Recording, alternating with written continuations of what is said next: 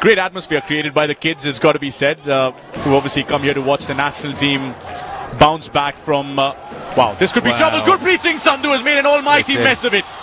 Was way far ahead of the line. And the bounce not very kind.